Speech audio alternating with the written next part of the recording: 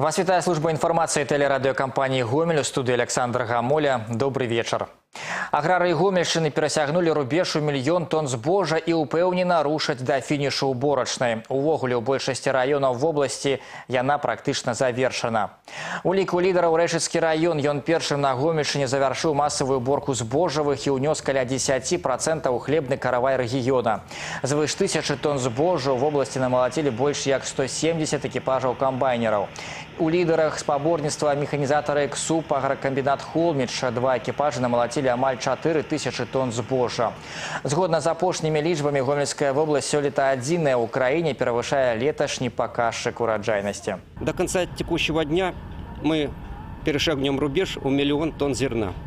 Средняя урожайность по области составляет 31,4 центнера с гектара. Это выше уровня прошлого года, э, более чем на 6%. В ближайшие дни мы планируем завершить уборочную кампанию и иметь э, не менее миллион сто тысяч тонн зерна. Многія, хто мае хоць невялікі кавалачак зямлі, градку або агарод, спрабавалі вырошваць на ім кавуны. Атрымліваецца далёка не ва ўсіх. Здымачная група тэлеканала Мазыр пабывала ў пасёлку Крынічны.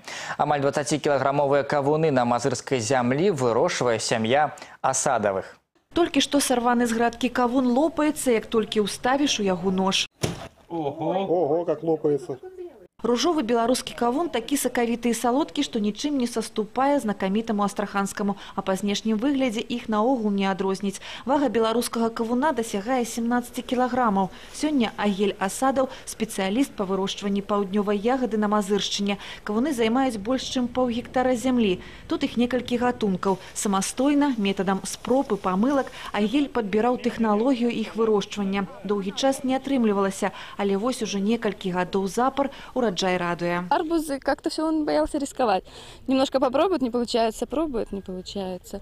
Ну а потом уже пока выбрали нужные семена, которые подходят для нашего климатического пояса. Ну и, конечно же, рассадным способом по-другому. Тут никак. Уже вот э, в прошлом году было Четвертый очень год хорошо, позапрошлом году было очень хорошо.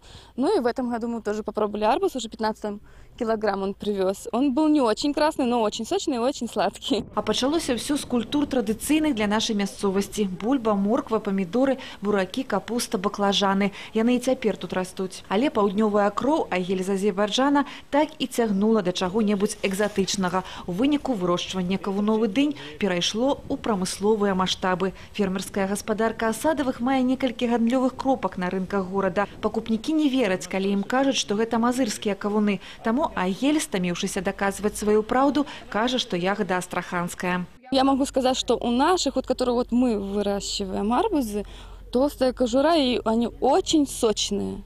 И не мелкие такие, вот как эм, когда вы разрезаете, видите, что мелкие как бы такие крупиночки, а у нас как-то крупнее крупиночки.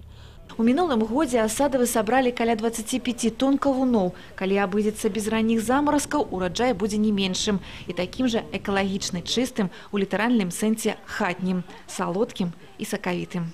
Ілона Шаўлоўская, Юрый Гарабец, тэлеканал Мазыр спецыяльна для тэлерадыёкампаніі Гомель. Практычна ўсе школы гомельскай вобласці гатовыя да новага навучальнага года. Прычым некаторыя з іх пасля рамонту ўжо адчынілі дзверы для дзяцей. Сёння тут працуюць школьныя аздараўленчыя лагеры. Олег Сенцюроў азнаёміўся са станам спраў. Гэтая школа хоць і знаходзіцца ў пасёлку бальшавік, але называецца торфазаводская у гонар прадпрыемства, з адкрыццём якога пачалося стварэнне ўсяго населенага пункта.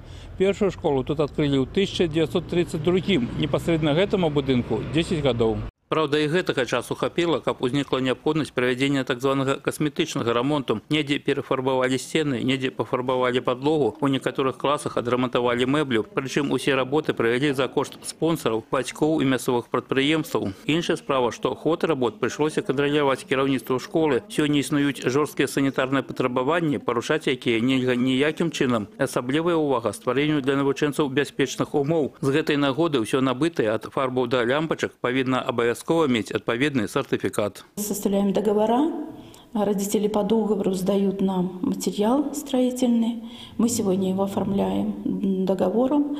Вот эти договора мы сегодня сдаем в отдел образования вместе с копиями чека и э, актом списания этих материалов, которые сегодня были использованы для ремонта школы. У школах Будакашалёўскага района апошняга тэрміну прыёму школ чакаць не сталі таксама. У пачатковай гарадской школе для правядзення ўсіх неабходных работ прыцягнулі больш як 100 мільёнаў рублёў. Прычым апрача бацькоў і прадпрыемстваў значную дапамогу аказала гуманітарная арганізацыя з Італіі, куды беларускія дзеці выязджалі на аздараўленне. Плюс сродкі зароблены самастойна у выніку здачы макулатуры і металалому, напрыклад. Як вынік усё запланаванае выканалі ў поўным аб'ёме і гатовыя прыняць вучняў хоць зараз. Праўда, нягледзячы на тое, што до 1 верасня яшчэ амаль тры тыдні некаторыя з іх ужо наведваюць установу, каб сустрэцца з настаўнікамі і сябрамі і расказаць аб летнім адпачынку, а яшчэ падзяліцца думкамі аб тым, што новы навучальны год абавязкова прынясе шмат новых уражанняў. Читаю понемножку, ну там решаю примеры, читаю таблицу умножения, учу.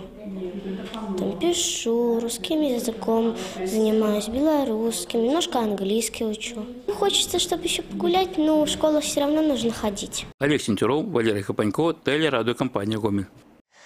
Дарэчы, гаворка аб гатоўнасці школ да новага навучальнага года, якасці адукацыі і кваліфікацыі настаўнікаў пойдзе ў чарговай праграме дыялог. Свае пытанні можна задаць начальніку ўправлення адукацыі гомельскага аблвыканкама Сергею Парошыну. Паважаныя тэлегледачы, звяртаем вашу увагу на тое, што наступны выпуск праграмы дыялог можна ўбачыць у прамым эфіры на тэлеканале Беларусь-3 у панядзелак 15 жніўня ў 19 гадзін. Нумар тэлефона ў студыі 77 68 45. У апошні месяц школьных канікулаў у гомелі пачалася акцыя беражы сябе сам. Яна накіраваная на прафілактыку няшчасных выпадкаў сярод дзяцей і моладзі. У Новабелецкім раёне абласнога цэнтра удзельнікамі акцыі сталі вучні малодшых класаў. З дапамогай лістовак, дызайн якіх распрацоўваўся непасрэдна ў школах, яны заклікаюць сваіх равеснікаў быць больш уважлівымі на дарогах. Адначасова на ўсіх пешаходных пераходах, якія размешчаны каля навучальных устаноў, школьнікі намалявалі смайлікі, якія павінны прыцягнуць увагу дзяцей і такім чынам замарудзіць іх рух перад пераходам вуліцы. Апрача таго, удзельнікі акцыі гатовыя на словах растлумачыць каждому жадаючаму нескладанные правила поводин на дороге. Надо идти э, по пешеходным переходам на зеленый свет. Когда э, сначала надо посмотреть налево, когда дойдешь до середины дороги, надо посмотреть направо. Дзяржаўтаінспекцыя гомельшчыны абзавялася службовым аўтобусам, які пры неабходнасці здольны не толькі пераўтварыцца ў мабільны блокпост даі, аднак і выконваць самы шырокі спектр службовых задач. Новая тэхніка, эксперыментальны праект і пакуль што ён не мае аналага ў краіне. Ва ўправленні дзяржаўтаінспекцыі па гомельскай вобласці адбылася прэзентацыя новага абсталяванага па апошняму слову тэхнікі транспартнага сродку. Службовы аўтобус даі аформлены ў стылі прафесійнай сімволікі і асначаны ўсімі неабходнымі сродкамі гукавога і светлавога павяшчэння. Салон машыны абсталяваны толькі сучаснымі электроннымі сістэмамі выяўлення парушальнікаў, радарамі, апаратна-праграмнымі комплексамі, відэарэгістратарамі і радыёстанцыямі, якія працуюць на розных частотах. Да таго ж у аўтобусе знаходзіцца зона для адпачынку і міні-кухня.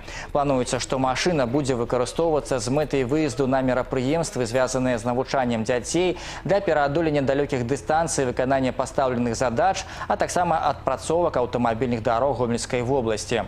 У свой першы рабочы рэйс службовы аўтобус даі адправіцца 19 жніўня. Мы можем э, э, реагировать на процессы перемещения потоков транспорта непосредственно на скажем так, на трассе э, любого значения развернуть э, стационарный пост, э, работать в режиме фильтра, тем самым контролировать вопросы законности перемещения товароматериальных ценностей.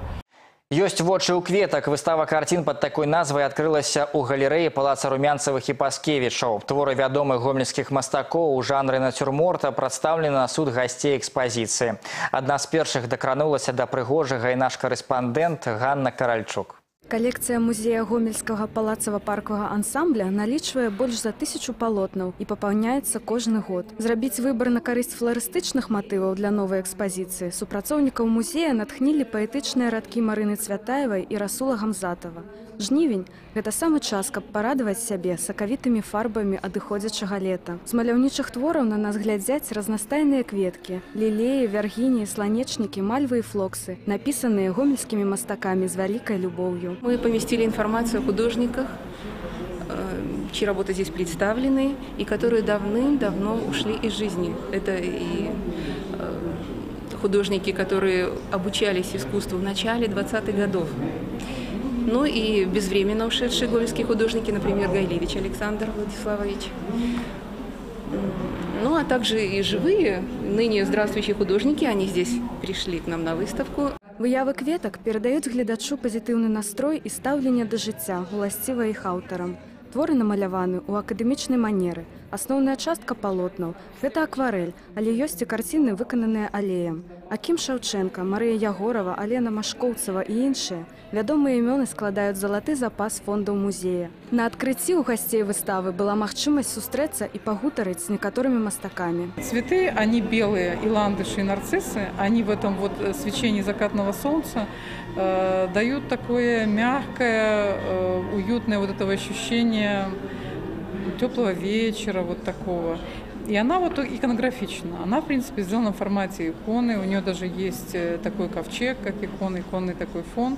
И вот э, цветы как э, элемент творения тоже присутствующий. И тоже какой-то, я говорю, о скоротечности жизни и цветов, и людей, да, вот расцвет, увядание.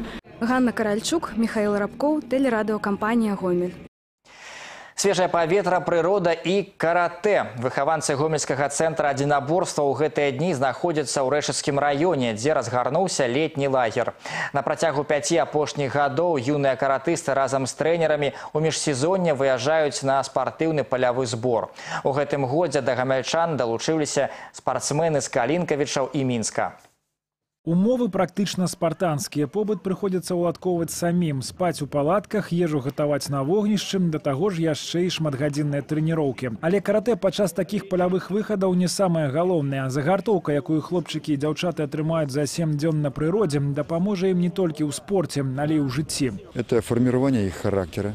Потому что, ну, а что такое характер у человека? Это характер, это, конечно же, м, вся последующая жизнь, да. Если человек справляется с неприятностями, он идет по жизни, работает, трудится и приносит э, пользу родине. Першапачаткова лагер арганізоўвалі, так бы мовіць, толькі для сваіх, аднак у апошнія гады падцягнуліся каратысты з іншых рэгіёнаў. У мінулым годзе дэлегацыя з Мінска налічвала 5 чалавек, у гэтым годзе ўжо больш за 20. І справа не толькі ў прыгажосці месца, дзе размяшчаецца лагер. Сумесныя трэніроўкі, абмен вопытам і наладжванне новых сяброўскіх сувязяў. Акрамя таго, такі тыднёвы палявы выхад добрая школа самастойнасці для спартсменаў, у тым ліку і для самых маленькіх. У нас ключевая задача, кроме мероприятий, которые поставлены здесь в целях э, обкатка малышей. То есть э, пять человек малышей у нас, шестилеток, приехали вообще впервые в своей жизни в лагерь какой-то. Ну, не то, что по тематике нашей спортивной.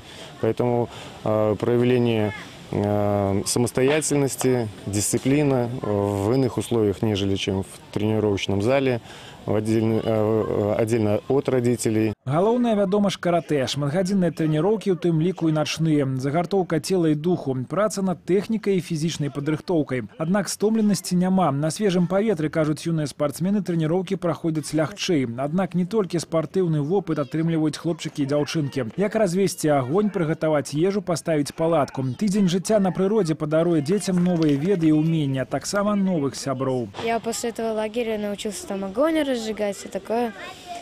Дед даже похвалил меня. Арганізатары падрыхтавалі для ўдзельнікаў мноства сюрпрызаў, надалі ўвагу і патрыятычнаму выхаванню. Гасцямі лагера былі прадстаўнікі ваенна-гістарычнага клуба 53 мотастралковы полк НКУС. Патрымаць у руках зброю ці прымерыць амуніцыю часоў другой сусветнай вайны атрымліваецца не кожны дзень. Таксама ў плане былі розныя спаборніцтвы, у тым ліку па футболе, прыкладным шматбор'і, віктарыны па гісторыі Беларусі, каратэкію кушынкана, таксама рыбалка і катання на конях. Так што гэты тыдзень запомніцца дзецям. І наўрад ці хто-небудзь адмовіцца вярнуцца сюды ў наступным годзе. Максім Савін, Максім Славін, тэлерадыёкампанія Гомель. Паважаныя гледачы з 16 жніўня на тэлеканале Беларусь3 з 19 до 20 гадзін глядзіце перадвыбарныя выступленні кандыдатаў у дэпутаты палаты прадстаўнікоў нацыянальнага сходу Рэспублікі Беларусь 6 склікання. А з 24 жніўня вы можете пачуць выступленні кандыдата ў эфіры радыё Гомель ФМ на хвалях 101,3 з 7 до 8 гадзін раніцы. Час вызначаны ў выніку жараб'ёўкі. На гэтым выпуск завершаны ў студыі працаваў Александр Гамоля. Усяго вам добрага і да сустрэчы ў эфіры.